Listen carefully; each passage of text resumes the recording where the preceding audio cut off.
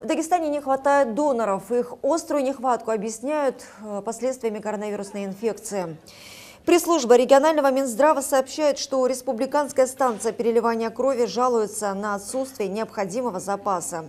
В связи с этим Минздрав просит людей стать донорами и активно откликнуться на призыв о сдаче крови.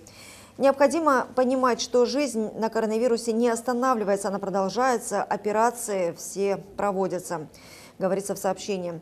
Ведомстве напоминают, что донор может получить два оплачиваемых отгула и 510 рублей. Кроме того, доноры могут бесплатно сдать анализы на коронавирус и антитела к нему.